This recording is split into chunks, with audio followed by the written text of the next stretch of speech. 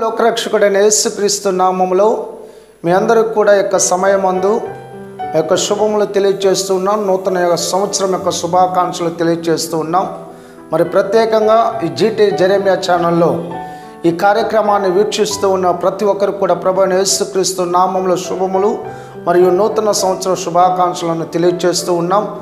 మరి ప్రత్యేకంగా GT జరేమియా channel వారు కూడా మా యొక్క సంఘం తరపున అపోస్టలస్ బ్లెస్సింగ్ చర్చ్ పోట్లూరు తరపున ప్రత్యేకమైన శుభములను నూతన సంవత్సరం యొక్క శుభాకాంక్షలను తెలియచేస్తూ ఉన్నాం. ఇటు రీతిగా ఈ జిటి జెరేమియా ఛానల్ ద్వారా మిమ్మల్ని కలుసుకోవడానికి దేవుడు చూపిన ఉన్నతమైన కృపను బట్టి దేవునికి కృతజ్ఞత స్థుతులు చెల్లిస్తూ ఉన్నాం. మరి రెండు వేల పంతొమ్మిదిలో ఎంతోమంది గతించిపోయారు. అయితే నీకు నాకు దేవుడి జీవమును కృపను అనుగ్రహించి ఈ రెండు వేల ఇరవైలో అడుగుపెట్టు భాగ్యమును దేవుడు మనకు అనుగ్రహించాడు. అందును బట్టి దేవుడి నామాన్ని స్థుతిస్తూ ఉన్నాం మరి ఇక సమయం ముందు పరిశుద్ధ గ్రంథంలోని ఒక మాటను మనం గమనించినట్లయితే ఈ రెండు వేల ఇరవై సంవత్సరంలో ఈ ప్రారంభంలో దేవుడు నీకు నాకు అనుగ్రహిస్తున్న ఒక మాట ఇదిగో నేను సమస్తమును నూతనపరచుచున్నాను అని చెప్పి ఆయన సెలవిస్తూ ఉన్నాను ఈ యొక్క నూతన సంవత్సరంలో నీ జీవితంలో సమస్తమును నూతనపరిచి నూతనమైన మేలుల చేత నూతనమైన కృప చేత నూతనమైన కార్యముల చేత దేవుడు నిన్ను నింపాలని దేవుడు ఎదురు చూస్తూ ఉన్నాడు ప్రియమైన దేవుని బిడలారా ఈ యొక్క నూతన సంవత్సరంలో ఆయన సమస్తమును నూతన పరుచుచున్నానని ఆయన సెలవిస్తూ ఉన్నా. ఒకవేళ గడిచిన రెండు వేల పంతొమ్మిది అంతా కూడా నీ జీవితంలో ఎన్నో రకములైన శోధనలు ఎన్నో రకములైన పోరాటములు ఎన్నో రకములైనటువంటి ఇబ్బందులు ఎన్నో రకములైన బలహీనతలు అనేకములు నీవు ఎదుర్కొని ఉండవచ్చు. కానీ ఈ యొక్క నూతన సంవత్సరంలో నా దేవుడు సెలవిస్తున్న మాట ఇదిగో నేను సమస్తమును నూతన పరచుచున్నాను ఒకవేళ మనుషుడి మాట చెప్పినట్లయితే ఇదిగో నేను దీనిని మాత్రమే చేయగలను. ఇది నాకు వీలు కాదు. ఇది నేను చేయలేను అని చెప్పవచ్చు. కానీ దేవుడు అంటున్నాడు సమస్తమును నేను నూతన పరుస్తాను అది ఏదైనా కావచ్చు నీ ఆత్మీయ జీవితంలో కావచ్చు కుటుంబ జీవితంలో కావచ్చు వ్యక్తిగత జీవితంలో కావచ్చు అది ఏదైనా కావచ్చు నీ జీవితంలో సమస్తమును అన్నప్పుడు ఆ మాటలో అన్నీ కూడా ఇమిడి ఉంటూ ఉన్నాయి. మరి నీ జీవితంలో గడిచిన సంవత్సరంలో ఏవైతే నీ జీవితంలో ఎదురు చూచి పొందలేకపోయావో వాటన్నిటిని కూడా దేవుడు నూతనపరిచి నీ జీవితంలో నూతన కార్యములను చేయడానికి ఆయన సిద్ధముగా ఉంటూ ఉన్నాడు. ప్రియ దేవుని బిడలారా ఈ నూతన సంవత్సరంలో ఆయన సమస్తమును నూతనపరచుచాను సమస్తమును నూతన పరుస్తానని చెప్పి ఆయన సెలవిస్తూ ఉన్నాడు. నీ జీవితంలో క్రీస్తునందు ప్రేమైన దేవుని బిడలారా నువ్వు నూతనం పరచబడాలంటే మొదటగా నువ్వు మనస్సు మారి నూతన మొగుట వలన రూపాంతరము పొందుచు ఉన్నావని రోమిలకు రాసిన పత్రిక పన్నెండవ అధ్యాయం రెండవ వచ్చిన మనం చదువుతూ ఉన్నాం. నీవు మనస్సు మారి రూపాంతరము మనస్సు మారి నూతన మగుట వలన నువ్వు రూపాంతరపరచబడుతూ ఉన్నావు. అంటే మొదటిగా ఆయన నీ మనస్సును నూతన పరుచుచున్నాడు ఒకవేళ గడిచిన రెండు వేల పంతొమ్మిది అంతా కూడా మరి నీ జీవితంలో చంచలత్వముతో రెండు మనసులతో రెండు తలంపులతో గత సంవత్సరం అంతా నీవు జీవించి ఉండవచ్చు. అందుకనే దావీద్ అంటాడు యాభై ఒకటవ కీర్తనలో ప్రభువ నా ఎందు స్థిరమైనటువంటి మనస్సును నాకు దయచేయి. ఏక మనస్సును అనుగ్రహించు అని చెప్పేసి దావీదు ప్రార్థిస్తున్నా. అంటే తన జీవితంలో రెండు మనసులతో తాను బ్రతుకుతూ ఉన్నట్లుగా సంచలత్వముతో తాను బ్రతుకుతూ ఉన్నట్లుగా తాను చెబుతూ ఉన్న మాటలను బట్టి మనం అర్థం చేసుకునవచ్చు. అలాగే నీ జీవితంలో కూడా ఒకవేళ రెండు మనస్సులతో గడిచిన సంవత్సరం అంతా నువ్వు నడుచుకొని నీ జీవితంలో ఎలాంటి ఆశీర్వాదములను నువ్వు పొందుకోకపోవచ్చు ఎలాంటి ఆశీర్వాదమును నీవు చూడకపోవచ్చు కానీ ఈ రెండు వేల ఇరవైవ సంవత్సరంలో దేవుడు నీ జీవితంలో సమస్తమును నూతన పరచాలని దేవుడు కోరుకుంటూ ఉన్నాను సమస్తము నూతన పరచబడాలంటే మొట్టమొదటిగా నీ మనస్సు మారి నూతన పరచబడాలి నీ మనస్సు మారితే నువ్వు నూతన పరచబడతావు నువ్వు నూతన పరచబడితే నువ్వు రూపాంతర చెందబడతావు. నువ్వు రూపాంతరం చెందినట్లయితే దేవుడు నీ మీద తన యొక్క మహిమను నీ మీద ఆయన ప్రకాశింపచేయడానికి ఆయన సర్వశక్తిమంతుడై ఉంటూ ఉన్నా ఈ నూతన సంవత్సరములో ఆయన నీ మనస్సును నూతన పరచాలని దేవుడు కోరుకుంటూ ఉన్నాడు. క్రీస్తునందు ప్రేమైన దేవుని బిడలరా ఈ భూలోకులు ఒక పాపి మారు మనసు పొందడం వలన పరలోక రాజ్యంలో దేవుని దూతలు ఎంతగానో వారు సంతోషించి వారు ఆర్భటిస్తూ ఉన్నట్లుగా దేవుని వాక్యంలో మనం చదువుతూ ఉన్నాం. ఈ రెండు వేల ఇరవైలో మనము మనస్సు మారి నూతన పరచబడాలని దేవుడు కోరుకుంటూ ఉన్నాం. మన జీవితంలో మనము నూతన పరచబడ్డం అన్నది చాలా అవసరము ప్రేమైన దేవుని బిడలారా. రెండవదిగా దేనిని ఆయన నూతన పరుస్తూ ఉన్నాడంటే నీ యొక్క బలమును నూతన పరచుచూ ఉన్నాను. పరిశుద్ధ గ్రంథంలో మనం గమనించినప్పుడు యశయా గ్రంథం నలభైవ వాద్య ముప్పై ఒకటో వచనములో యహోవ కొరకు ఎదురు చూచువారు నూతన బలము నొందుదురు అని దేవుని వాక్యము సెలవిస్తూ ఉంది. ఒకవేళ గడిచిన సంవత్సరం అంతా కూడా నీ జీవితంలో రోగముల చేత ఇబ్బందుల చేత రుగ్మతల చేత నానా రకములైన బలహీనతలతో నువ్వు సమస్యలే ఉండవచ్చు కృంగిపోయి ఉండవచ్చు నీ జీవితంలో నష్టపోయి ఉండవచ్చు.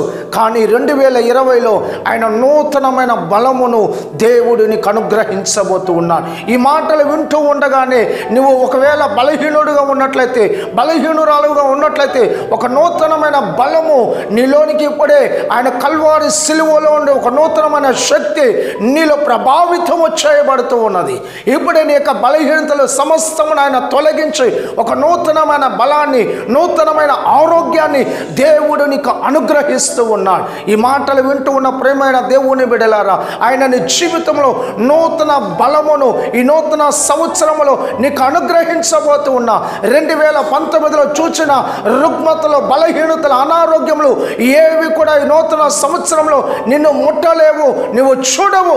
నూతనమైన బలాన్ని నూతనమైన ఆరోగ్యాన్ని నీ జీవితంలో ఈ రెండు వేల ఇరవైలో నీవు అనుభవించబోతూ ఉన్నావు. క్రీస్తునందు ప్రేమైన దేవుని బిడలారా ఏక సమయమంది మాటలు వింటూ ఉన్న ప్రేమైన దేవుని బిడలారా మీ జీవితంలో నీ బలమును ఆయన నూతన పరచుచు ఉన్నాం నీ బలమును నూతన పరచుచున్నాడు అందుకని అపస్సులైన బహులు అంటూ ఉన్నాడు నేను ఎప్పుడు బలహీనున్నో అప్పుడు నేను బలవంతుడును అని చెప్పి అపోస్తుడైన పౌలు చెబుతూ ఉన్నా. క్రీస్తునందు ప్రేమైన దేవుని బిడలారా ఏక చక్కటి ఏక సమయమందు దేవుని వాక్యం చెబుతుంది నూతన సంవత్సరములో మొదటిగా నీ మనస్సును ఆయన నూతనపరచుచున్నాడు. రెండవదిగా నీ యొక్క బలమును ఆయన నూతనపరచుచున్నాడు. పరిశుద్ధ గ్రంథంలో ఏది? కీర్తన గ్రంథం ఇరవై తొమ్మిదవ కీర్తన పదకొండులో చెప్పబడుతుంది. యహోవ తన ప్రజలకు బలమును అనుగ్రహించును అని దేవుని వాక్యం సెలవిస్తున్నాడు ఆయన తన ప్రజలకు ఆయన బలమును అనుగ్రహించే దేవుడు. ఎలాంటి బలం అంటే అది నూతనమైన బలం అని చెప్పబడుతున్నది. ఐశ్య గ్రంథం నలభై అధ్యాయం మనం ముప్పై ఒకటి ముప్పై రెండు ముప్పై మూడు వచనాలు మనం గమనిస్తే వారి పక్షిరాజు యవనము వలె వారి యవనము క్రొత్తదగుచున్నట్లు వారి రెక్కలు చాపి పైకి ఎగిరెదరు అలయక పరిగెత్తెదరు సమస్యలక నడిచి వెళ్ళెదరు అని చెప్పి దేవుని వాక్యం సెలవిస్తూ ఉంది. ఒక మనుషుని జీవితంలో దేవుడు బలపరిచినట్లయితే దేవుడు వారి బలాన్ని నూతన పరిచినట్లయితే పక్షిరాజు బలము వలె వారి యవ్వనము అది క్రొత్తదిగా చేయబడతాయి. ఆ పక్షిరాజు ఎలాగైతే ఎంత ఉన్నతమ స్థితికి అది ఎగురుతుందో అలాగ మన జీవితాల్లో ఒక ఉన్నతమైన దేవుని ఆరోగ్యము చేత దేవుడు నిన్ను నన్ను ఆయన నింపడానికి ఆయన సిద్ధముగా ఉంటూ ఉన్నాడు. కనుక ఏక సమయం అంది ఈ మాటలు వింటూ ఉన్న ప్రేమైన దేవుని బిడల నీ జీవితంలో ఈ రెండు వేల ఇరవైలో ఆయన నీ మనస్సును నూతన పరుస్తూ ఉన్నా. రెండవదిగా ఆయన నీ బలమును ఆయన నూతన పరుస్తూ ఉన్నా. మూడవదిగా మనం గమనించినట్లయితే దేవుని వాక్యం సెలవిస్తుంది. హెస్కెల్ రాసిన గ్రంథం పద్దెనిమిదవ అధ్యాయం ముప్పై ఒకటో వచ్చినములో ఇదిగో నేను నూతన బుద్ధియు నూతన హృదయమును మీకు ఇచ్చేదను అని చెప్పి ఆయన సెలవిస్తూ ఉన్నాను నూతనమైన బుద్ధిని ఒకవేళ రా గడిచిన సంవత్సరంలో మన బుద్ధి సరిగా లేకపోవచ్చు. భక్తుడైన దావీదంటాడు ప్రభువా నాలో స్థిరమైన బుద్ధిని నాకు దయచేయి. బుద్ధి జ్ఞానము సర్వ సంపదలు ఆయన హస్తములయందు గుప్తములయంటూ ఉన్నదని కొలసిలకు రాసిన పత్రిక రెండు మూడులో మనం చదువుతూ ఉన్నాం. ఈ నూతన సంవత్సరములో ఆయన నీకు నూతన బుద్ధిని దేవుడు నీకు అనుగ్రహించాలని దేవుడు కోరుకుంటూ ఉన్నాడు. ఒకవేళ గడిచిన సమ దినములలో గడిచిన సంవత్సరంలో నీ బుద్ధి సరిగా లేక దేవునికి దూరం అయిపోయి ఉండవచ్చు. బుద్ధిహీనముగా నువ్వు ప్రవర్తించి ఉండవచ్చు. పరిశుద్ధ గ్రంథంలో మత్స్సు వార్త ఇరవై ఐదవ అధ్యాయంలో మనం చదువుతాం పది మంది కన్యకలు. వారు ఐదుగురు బుద్ధి కలిగిన వారు ఐదుగురు బుద్ధిహీనులు అని చెప్పి దేవుని వాక్యము సెలవిస్తుంది. ఆ బుద్ధి కలిగిన కన్యకలు సిద్ధపాటుతో వారి సిద్ధిలలో నూనెను తీసుకొని వారు డివిటీలను వెలిగించుకొని వెళ్ళినట్లుగా చూస్తూ ఉన్నాం. బుద్ధిహీనుల బుద్ధిహీనులైతే వారి సిద్ధిలో నూనె లేకుండా అప్పుడు చూసుకుందాములే. పెండ్లి కుమారుడు వచ్చినప్పుడు చూసుకుందాములు అన్నట్టు ధీమాతో నిర్లక్ష్యముగా వెళ్ళిపోయారు. కానీ పెండ్లి కుమారుడు వస్తున్నాడన్న స్వరము వినబడ్డది. మరి ఆ బుద్ధి కలిగిన కన్యకలైతే తమ దివిటీలను వెలిగించుకొని పెండ్లి కుమారుని ఎదుర్కోవడానికి వెళ్ళారు. బుద్ధిహీనులు అప్పుడు నూనెను కొనడానికి వారు వెళ్ళినట్లుగా చూస్తూ ఉన్నాం. వారి జీవితాలు అక్కడ మనం గమనించినట్లయితే వారు వెళ్ళిపోయారు తలుపులు మోయబడ్డ తర్వాత వారు వచ్చి తలుపులు కొట్టుచున్నారు. అయ్యా తలుపు తీయండి. మీరెవరో నాకు తెలియదు అంటూ ఉన్నాం. ఒకవేళ మీ జీవితంలో కూడా గడిచిన సంవత్సరంలో బుద్ధిహీనులుగా ఉండి దేవుని ఆశీర్వాదాన్ని మీరు కోల్పోయి ఉండవచ్చు దేవునితో సహవాసాన్ని కోల్పోయి ఉండవచ్చు కానీ ఈ యొక్క నూతన సంవత్సరంలో నా దేవుడు సెలవిస్తూ ఉన్నాడు. ఇదిగో నేను నూతన బుద్ధిని నేను మీకు అనుగ్రహిస్తాను అని చెప్పి ఆయన సెలవిస్తూ ఉన్నాను నాలుగవదిగా అదే మాటలు మనం గమనించినట్లయితే పద్దెనిమిది ముప్పై ఒకటిలో హెస్కెల్ గ్రంథం పద్దెనిమిది ముప్పై ఒకటిలో నూతన హృదయమును నేను మీకు ఇస్తానని చెప్పి దేవుని వాక్యం సెలవిస్తుంది.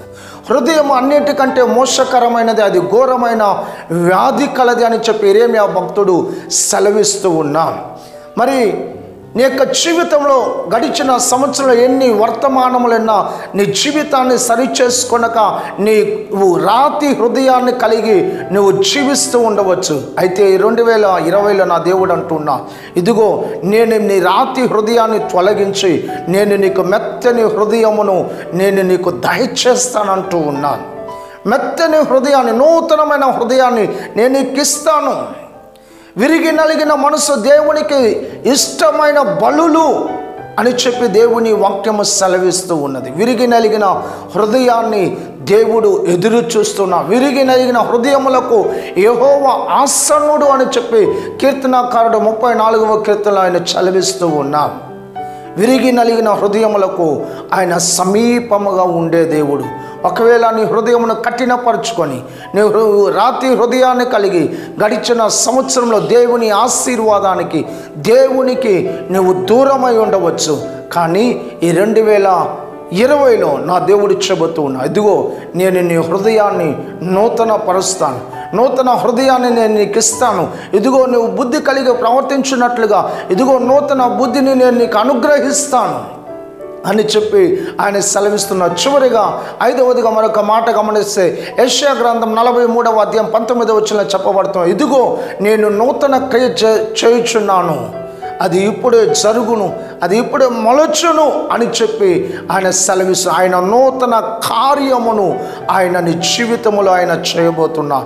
గడిచిన రెండు వేల పంతొమ్మిదిలో నువ్వు పడిన హింసలు నువ్వు కార్చిన కన్నీరు నువ్వు పడినటువంటి ఆవేదన నువ్వు పడిన దుఃఖమును అన్నిటిని కొట్టివేసి నిత్య ఆనందముతో దేవుడు నిన్ను నింపునట్లుగా నూతన కార్యమును దేవుడు నీ జీవితములో ఆయన చేయబోతూ ఉన్నాడు. హబక్కు మూడు రెండులో చెప్పబడుతూ ఉన్నది ఇదిగో సంవత్సరంలో జరుగుచుండగా నీ కార్యములను నూతనపరచువాడు నీవు అని చెప్పి హబకు రాస్తూ ఉన్నాడు. ఆయన సంవత్సరంలో జరుగుచుండగా ఆయన తన కార్యమును ఆయన నూతనపరచి నూతనమైన మేలులతో దేవుడు నిన్ను నన్ను మనందరినీ ఆయన నింపబోతూ ఉన్నాడు. కనుక ఇక సమయం ఈ మాటలు వింటూ ఉన్న ప్రేమైన దేవుని బిడలారా ఇదిగో నేను సమస్తమును నూతనపరచుచున్నాను. ఇది ఎవరు చెబుతూ ఉన్నాడంటే సింహాసన ప్రసన్నుడైనటువంటి దేవుడు నీకు నాకు ఈ నూతన సంవత్సరములో ఆయన సెలవిస్తూ ఉన్న మాట. నీ జీవితంలో ఏవైతే నూతన పరచబడాలని ఎదురు చూస్తున్నావో వాటన్నిటిని కూడా దేవుడు నూతనపరిచి నూతనమైన ఆశీర్వాదములతో దేవుడి నూతన సంవత్సరంలో ఆయన నిన్ను నన్ను మనందరినీ నింపడానికి ఆయన సిద్ధ సిద్ధముగా ఉన్నాడు.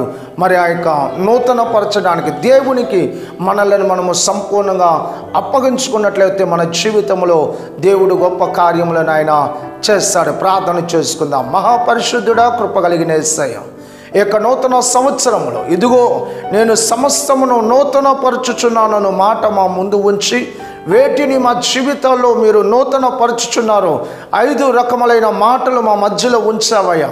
మీరు నాయన మా మనసును నూతన పరచుచున్నారని ప్రభా మా జీవితంలో ప్రభా మాకు నూతన బుద్ధినిస్తూ ఉన్నారని నూతన బలమును అనుగ్రహిస్తూ ఉన్నారని నూతనమైనటువంటి హృదయాన్ని అనుగ్రహిస్తూ ఉన్నారని నూతనమైన కార్యమును అనుగ్రహిస్తానని నాన్న మీరు ఐదు మాటలు మా ముందు ఉంచినందులకు స్తోత్రములు. ఈ యొక్క కార్యక్రమాన్ని వీక్షిస్తున్న ప్రతి ఒక్కొక్కరి జీవితంలో ఇప్పుడు నూతన కార్యము బిడలలో ప్రారంభించబడును గాక ఈ వర్తమానం వీక్షిస్తూ ఉండగానే నీ బిడల జీవితంలోనైనా ఒక నూతన క్రియ జరుగునుగాక తండ్రి.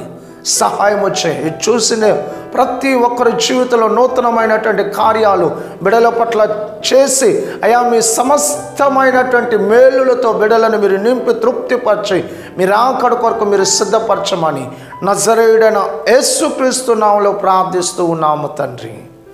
ఆమెన్.